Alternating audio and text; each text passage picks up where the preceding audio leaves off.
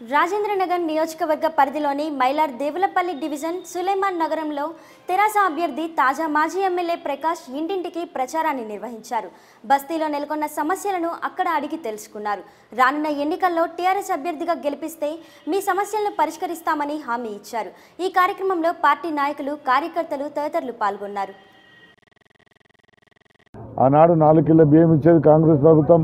ఈనాడు మనిషి ఒక్కడికి ఇస్తే మా ఇంట్లో ఇరవై మంది పది మంది ఉంటాం.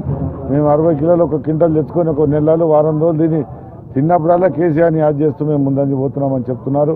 అందుకని మన ముఖ్యమంత్రి గారు ఒకటే ఆనాడు ఇయ్యని చెప్పలేని పథకాలన్నీ కూడా ఇలా ప్రజలకు ఇచ్చి ఎంతో ఆశతో ముందుకు పోతూ ఈరోజు జనాలకు వస్తుంటే మేము అందరం కూడా మీరు చూస్తున్నాం మైనార్టీస్ వాళ్ళు ఏ విధంగా స్వాగతం పలుకుతారో ఎప్పుడన్నా మైనార్టీ బస్సులకు రావాలంటే ఎంతో భయపడదాం కానీ ఈరోజు ముఖ్యంగా వాళ్ళే ఇంటింటి తోలుకపోయి అందరు కూడా అన్న కేసీఆర్ గారికి మేము కారు గుర్తు కోటేసామని చెప్తున్నారు ఇది ఒక్కటే గారు కేసీఆర్ కిట్టు ఇవన్నీ కూడా ఎంతో పథకాలన్నీ కూడా మనం ముందుకు తీసుకుపోతున్నాం నాయకుడు మా రంజాన్ పండుగ బట్టలు ఇవ్వడం ఇవన్నీ కూడా ఏ నాయకుడు కూడా చేయలేదు కదా మా ముఖ్యమంత్రి గారు చేసిరని ఎంతో సంతోషంతో మైనార్టీ సోదరులు మహిళలు ముఖ్యంగా మహిళలు हमारे केसीआर भाई को डालेंगे दूसरों को नहीं डालेंगे हम बहुत अच्छा काम करें ऐसे సీఎం हमारे को नहीं मिलेंगे అని మన ముఖ్యమంత్రి గారు అంటుంటే మేము కూడా ఎంతో శ్రమిస్తాం మా ముఖ్యమంత్రి గారు అనేది మీరు ప్రజలలో పోతే తెలుస్తా అంటే నిజంగా కూడా.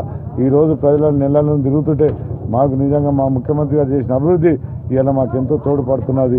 అందుకని ఇలాంటి ముఖ్యమంత్రి ఉండడం మా అదృష్టం కూడా ఎంతో గొప్పగా భావిస్తున్నాం. అందుకని ప్రజలందరూ కూడా ఒకటే కొడుతున్నాం. అరవై సంవత్సరాల కాంగ్రెస్ ప్రభుత్వం నగిలిపోయినాం మనం. ఈరోజు మనం పోరాడి తెచ్చుకున్నాం. ఆ తెలంగాణను మనం అందరం కూడా ఇక్కడ ఎవరు కూడా ఏం పని చేయలేదు.